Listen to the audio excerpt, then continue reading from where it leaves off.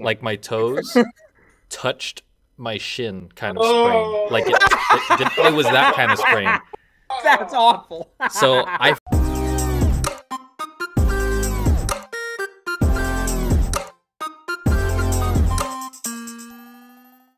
can't do my blood being drawn. It's it being taken away from me that bothers me. I'm like, I it's not even yeah, about the blood. It's about you taking like- something they're from me. like, even when I was a kid, they would be like, "Turn away." I'm like looking. Like, Can- nope, nope. so, that's fine. For I worked for off, that. scratching off uh, plasma donations as a form of uh, fundraising.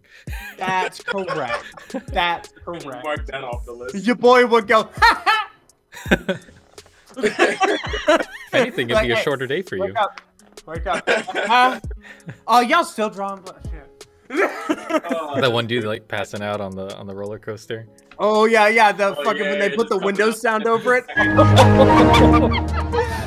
I'm glad you know So, the exact no, video it- I'm talking about. Oh fuck yeah! It's there's a reason that I like blunt weapons more than I like sharp ones because I realized very early on that I have a glitch about copious amounts of blood or my blood being taken. Mm. Um, so let's make it an inside boo boo uh, that makes their head a different shape. Then instead of you know severing some, yeah, exactly right, exactly. Instead of severing something and watching them bleed out in a couple of seconds and going, like, yeah, it, it's one of those. It's not. A, I've I've tried to work through it. I watch surgery videos. I I do it to- intentionally. I will try and go donate some plasma at some point when I work up to it because I want to work through it. I hate that that's a thing that I have. But with glitches, you either train through them if you can, or you train around them. And this is one that I just got to train around. I'm like, son of a bitch. Yeah. yeah. no, I get it. Anyway, yeah, yeah. for me, my glitch, my uh, my actual glitch is is broken bones, and not just like the fact that it's broken. Like I'm talking like Dangly bits. Yep. yeah, yeah, yep. it- That elbow shouldn't the bend time- that way. Oh, I can't remember what fight it was, but did you see the fight? Uh, Yeah. his leg bent around the other. like I was like, I was, I was so. I was so done. I did a live stream about how to like condition it properly because everybody's a- after that fight was over. Everybody's just like, "Hey, you do Muay Thai, right? How do you avoid that?" And I go, I- Yeah. I 100%. Microfractures over a good tens of years to make sure that it all builds. "Don't kick with the side of your shin. Kick with the point Yeah. of your shin." Kick Yep, the yep, yep, front of it. But that was that in particular was just wild. Ugh. It- um, yeah. we were talking about that too, like how to recover properly. Because like even you, like I guess it was just funny coincidence you cut your hand earlier, but like training Oh, yeah. with injuries and then Yeah. making sure you don't break yourself. Because like most of those fights, like the Anderson Silva and uh, that recent guy, I'm pretty sure they probably either didn't temper themselves properly or they're recovering. They fought while in Yeah. recovery. Yep. That's one of the biggest things. You have to like allow yourself time. And I'm really bad at this personally. Don't get me wrong. I am. my girlfriend yells at me consistently, but um, like you have to allow yourself time to heal. You have to rest. Like, no, Yeah. No, no, no, no, no, no. You sit your ass down. You're waiting to leave. Eat a slice of humble pie. Take a fucking rest for a minute there, bud. Just sit. You know, Yeah. I'm fortunate that like I didn't suffer any real injuries when I fought because like did I did I tell you about that with that story? My my fifth MMA fight was for the championship belt in Spartica, and I sprained my ankle a week before the fight. Fuck. Like like my Damn it, toes, you know. like my toes touched my shin kind of Oh. sprain. Like it, it, did, it was that kind of sprain. That's awful. So I fought I fought with that. I was like I had like three doses of ibuprofen in my body and I was icing That's my right. I was icing my ankle before the fight. But all of that medicine took all of my strength away, plus the fact Yeah. that my ankle wasn't working. So I was I- mentally drained and under medicine while I was fighting for a belt and I got my ass whooped. Yeah, Oh, I feel like it'd be like that, a that. sprain. I would have never called No. that. A, I would have led with the whole my toe touched my shin. My part. my foot's like gigantic, so like when it touched, like I'm pretty sure like it's pretty flexible. I'm not gonna do it now, but like you can see Yeah. like it's not that far away, but it was a bad takedown. The guy did like a double leg and he planted my heel. So this touched. Oh Th- no. These two things touched, and I couldn't even like I couldn't even like tiptoe on that foot. Can't even Man. tiptoe your Jordans. What's the Wild. point? Fortunately, I didn't actually break anything else during that. It just it was just a good. sprain, and that was it. So Yeah, yeah, that's that's off. I got a question for both of you actually. Yeah, Yeah. yeah, yeah. I'm just really curious what your weekly training routine is. Like, how do you, what do you do? Like, throughout, can you like just run me through like a, a week for for Yeah. you guys? So normally I am, I teach uh, traditional classes Tuesdays and Fridays, uh, and I participate in all of our warm ups for all of the classes, stuff like that. And then the adult class, even though I'm an instructor, I try and make sure to participate as much as possible, because I know how once you hit that instructor role, it's easy to backslide into not training ever again and just teaching. It's very real, and it's it's one of those that that's the niche that you fill now. You're an instructor. It's what you do. So you have to remind yourself to keep working. Um, so I make sure to play with everybody. Um, and then on top of that, I have my classes. I have a bunch of classes Saturday mornings. Um, and then spotted and spackled throughout the week, I have classes. Some of them are self defense work, some of them are martial arts work, um, just doing all that. So there's that part of my routine.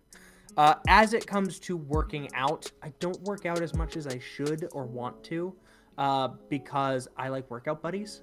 Working out on my own is awful because what am I doing? I'm going to sit there and make myself miserable for two hours. Why would I want to do that? And then I remember, oh, yeah, you feel better afterward. Um, so a lot of my workouts come out from, believe it or not, my reps of, of just, I'm working meteor hammer work, I'm working kanabo work, uh, and that shit sucks. I will be completely leveled. That shit is miserable because I will work on one take of something. Uh, if, it, if it's an off day for my meteor hammer work and I'm just sucking that day, I'll work on a shot for like an hour and a half, two hours.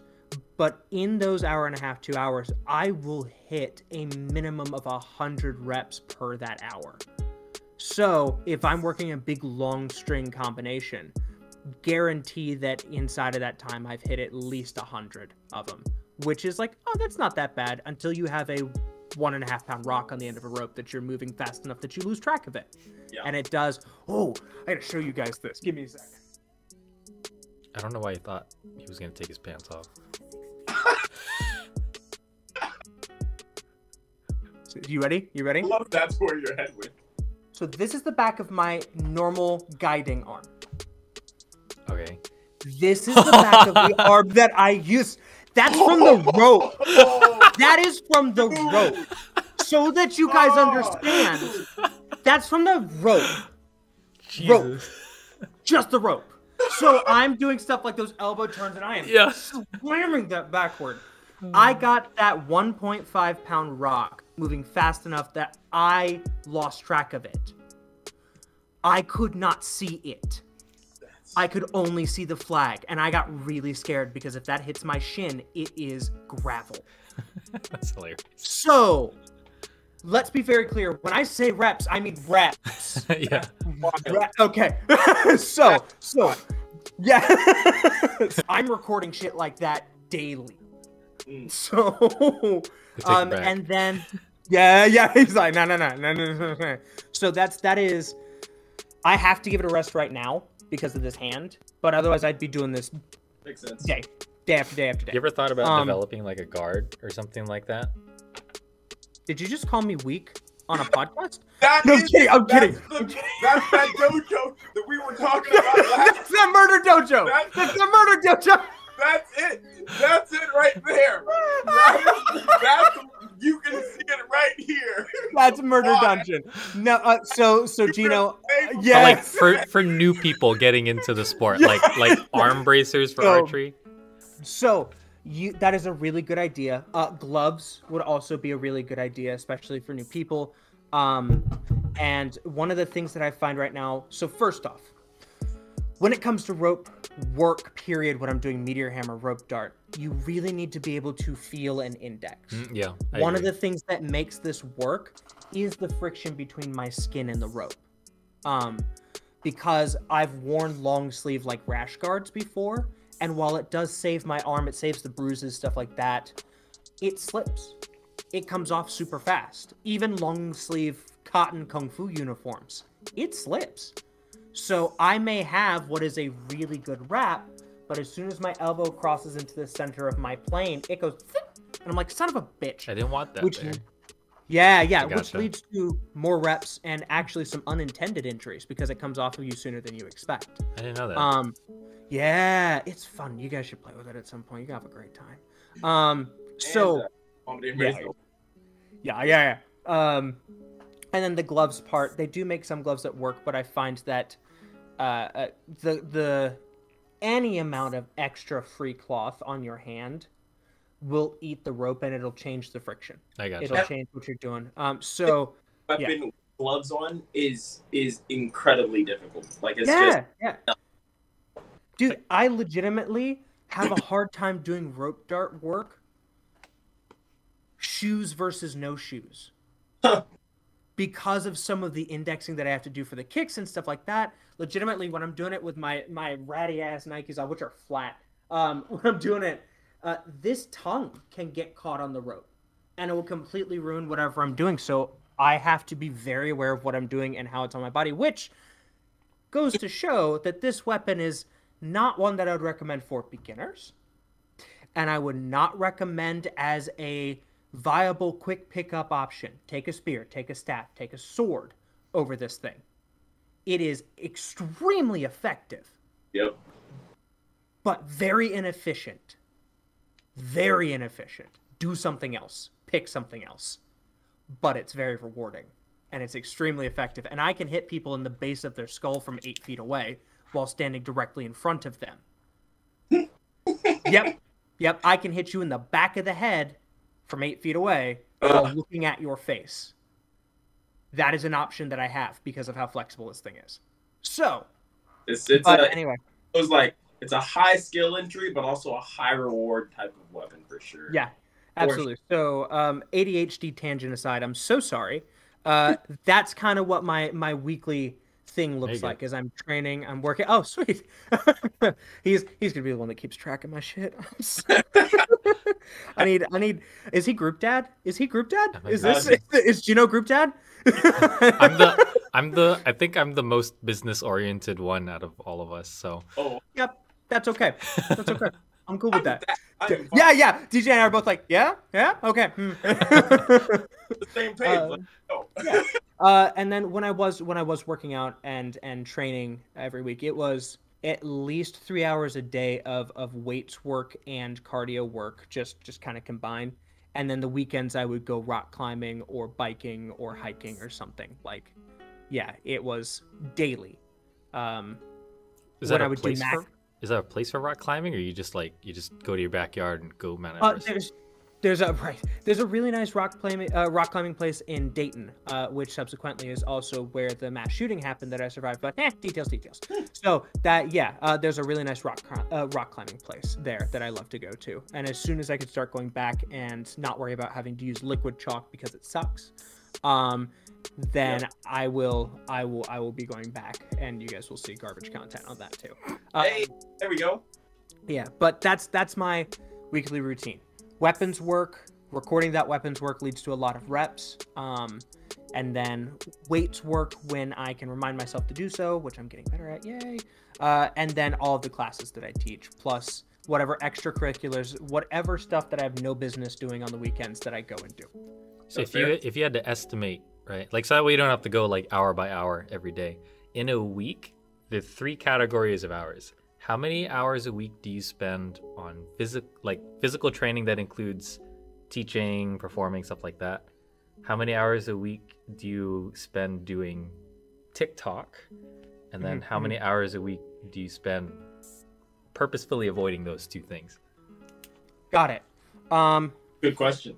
So for the for the training work, it is about 14 to 18 um, hours a week for the training stuff. Okay.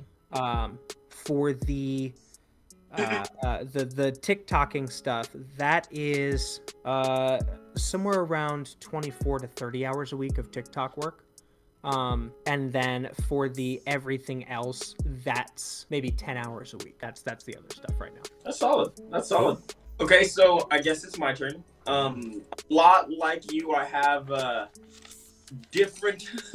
I have different workout regimens. I will usually work on is my weapon stuff all the time. That's that's my go-to for just reps. For like, I'll grab some of my heavier swords and I'll just kind of get the the conditioning and the speed drilling uh, going. Um, that's that's my go-to. Even when I'm like not feeling good, if I'm having a bad day, I just got off work and I'm just you know ha- not having a good day.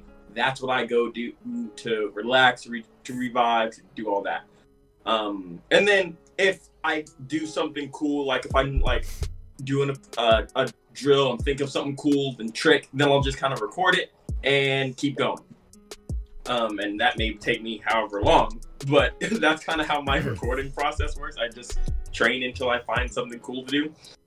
Um, and then I'm actually getting ready for my master test right now in Tong Soo So it's the fourth degree test in Tong Soo It's going to be like a week long test of of 20 ish hour days. So I'm like trying to be ready. So I am now uh, running over all my forms and katas, running over all the all the self defenses, the traditional weapons work, all of that. So that's like a whole separate um, workout time slot I save for it. So I have like my normal tricking and kicks and stuff like that, and then I have that traditional separate uh, workout.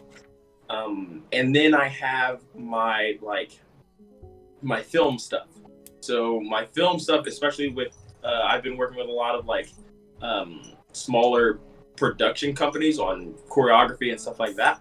And so what I'll do is I will um, either with you know my brother or something like that, or I'll just go out by myself and and try and take a fight scene and recreate it and see if I can break it down, change a little bit. Like I did one uh, the other day that was like the uh, Black Panther versus Winter Soldier um, when they were on the rooftop area. Like I recreated that, and that was fun.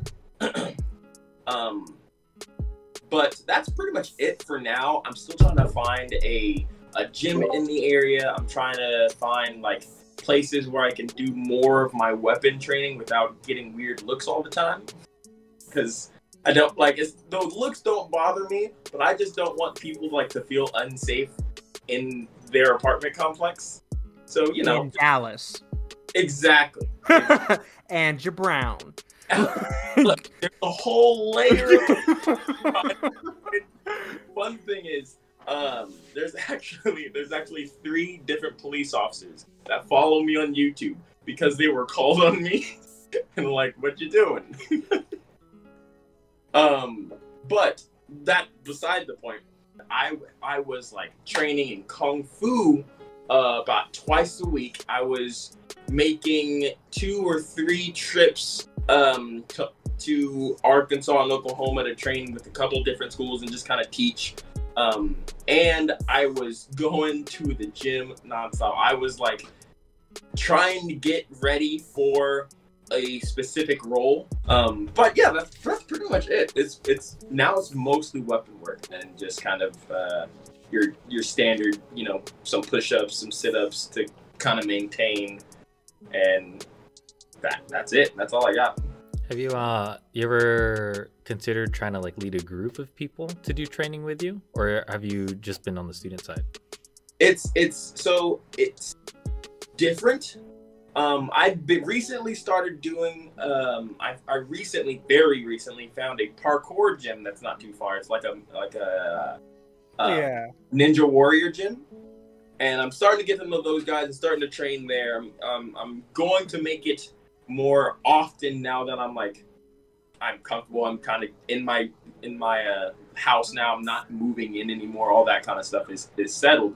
So I'm gonna be going there and trying to get a group of guys together there because I know there's a bunch of people um, around my age that do you know martial arts and and rings and ninja warrior and stuff that I'm into. So that's a it's a great place that I want to get to, uh, and uh, it just isn't set up yet. It's just all like you know new basically because I just moved in not not a month ago. Okay, that's cool. One of the so, little little thing if you are interested in one of the ways we got started with our school was when my dad started collecting a bunch of people to do training. It was actually a joke when they said you should just open a school and he go we'll open it if you guys pay for the lease and you find the place so they actually did that So it was like it was basically a proxy, like paid tuition. It was just everybody pitched in for a one year lease for us to have a place to train at that wasn't our garage. That's, That's- awesome. That's wonderful. So if you if So- you happen to get a group that big, or if you want to you know fundraise on TikTok or something like that, you could. That's that's a that's an option. Awesome. That is a great idea. I've been honestly most of my ex like most of my um efforts as far as what I've been working on on and trying to build up to have been I, I'm trying to get to the point where I can produce like high quality films. Um, for example, like I'm trying to get um, an apocalypse series going, right? So I'm going out. That's the most of the people I'm meeting with in training right now. Like I'm meeting actors and just being like, "Hey, uh, work with me. I'll train you how to do martial arts." And they're like, "Bet." And so those are the people I'm I'm meeting and and training with and meeting at the gym and training with right now. Um, and pre-COVID, that was that was the case too more often. But now it's just kind of building back up to it. But anyway, um, I want to be able to like eventually go to different locations, go to different places, people, different martial artists out there, and do training with them and have them as you know part of the series by like traveling to them and, and getting that going. So that's that's what I want to get to. Uh, and so as far as like building up a a group of people we kind of have been doing that because like I met a camera guy now, and I met a uh, a, a video a videographer that actually knows what he's talking about, and I met like some sound guys that are interested. So it's kind I am I am kind of building like a group of people. It's just they all don't train yet. yeah. I have to work on that. That's that's the most important part. Like it's kind of sad. The guy that does our YouTube, I don't know if you guys saw our YouTube channel, but the guy that does our YouTube channel uh, actually moved away. Today. Uh, Ah. He gave us like a like a month notice um, to go onto the the left coast.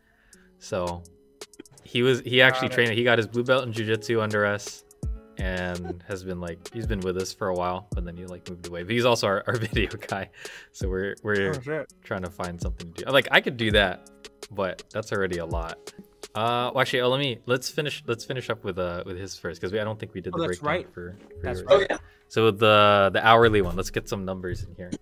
Okay, so for for my normal, you know, weapon training, I usually probably do it in a week, probably like 30 hours in a week, probably you know somewhere around there. Probably for my master test, I need to do it more, but probably only like five to 10 hours, you know, throughout the week. Just kind of, you know, two here, two there. The 30 I'm talking about, my bad. Uh, If uh, okay. So roughly Five- about 30 hours in total for the whole week is physical. in total. Yeah, yeah, yeah. Five to ten of them are for master stuff, uh, and then the rest is usually just kind of um, um, the rest is like sword stuff. Um, my my film is not. I don't count that as training because it's definitely me teaching people and not as serious on me. So that's just kind of when I'm resting and when I'm healing and stuff like that because I really don't have to do very much physical stuff. It's more testing my brain and and showing other people how to do stuff. But as far as like sword training, that's about it. Okay. And then uh, for your TikTok on the the entrepreneurial business side. For my TikTok, I spend probably a total of I don't, I don't it's hard to say because whenever I'm training, it's literally whenever something happens. Whenever So- whenever a camera is on or you have the app open. Whenever a camera's on or I have the app open, probably about seven, probably about ten hours a week. Okay. Nice. And then personal time. Would you would you consider your project of teaching the actors personal time outside of your Yeah. own training? Okay. Yeah, because it's not it's not my training. I'm not physically like active. It's more just me doing what I love to do and filming. Yeah, Yeah. as I say. So Geno, you've asked us both. What does yours look like? Your your your training week look like, and then the same hourly breakdown. Uh, like you know, not hourly, but the the weekly breakdown. What does yours look like, dude? Hit us up. Uh, let's see here. What do I do? What do I do? I don't know what I do. so I, my schedule is basically all day, Monday through Friday, and then morning to early, or yeah, early afternoon on Saturday. So on Mondays, we actually have like a schedule for like editing and Like nine to five. brainstorming and stuff. Well, kind of like eight to ten. Yeah. Um, so technically, I work like excluding excluding like the two mini breaks I take during the day. It's like t- four four 12 hour days. Um, basically a mix of it's a lot of admin work. Like I sit on this computer a lot more than I stand on the mats. Yeah. Um, Straight up. so, so it's a, basically it's a lot of planning. Um, I get my morning training at 10 o'clock, and then I do like a half and half of teaching and training in the evening. Um, 4:30 is when all the little ones come in, and then 5:30 the second little ones come in, and then all the adults come in after that during like prime time. Okay. Um, I don't have to teach any of like the later evening classes, so that's nice. But like alternating, training three, training in and teaching the three arts plus the kids classes that we have is like roughly six programs in the school. So being able to do that um, definitely takes a lot of like teamwork. So No school can be run by itself. Like it's always Nah. Yeah. a, a team effort for sure. Yeah, I was gonna say, especially if you're running that many programs, man, that's that's a team effort. It's You do it? that on your own, and you're gonna fucking die. Like, It's Yep. yeah, Muay nah. Thai, Jiu Jitsu, Filipino martial arts. The we call it TDP, the Total Defense Program. My mom's program, which is the Explorers, the five to seven year olds, and then I have the eight to thirteen year olds, and then my dad teaches the kids Jiu Jitsu class. So that's that's the six. So we all have our own specialty kids program, and then we all contribute to the adults. That's cool. That's very cool. I guess if I was to break it down hourly, I Mm. am physically training about 21 hours a week.